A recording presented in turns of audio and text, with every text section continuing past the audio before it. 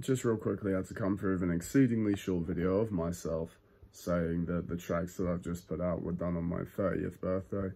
So, yeah, um, I've got rid of all my lives at the moment, but believe it or not, I made like multiple tracks and was live for something like nine hours on 420, and then I was live on other sites too. So probably the whole fucking day I was high as shit making tracks. So, yeah.